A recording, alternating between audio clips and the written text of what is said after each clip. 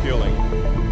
Or- or- orbital refueling is extremely important for getting to Mars and getting to the moon. It's, or establishing a city, to establish a city or on the moon or Mars. This is vital step.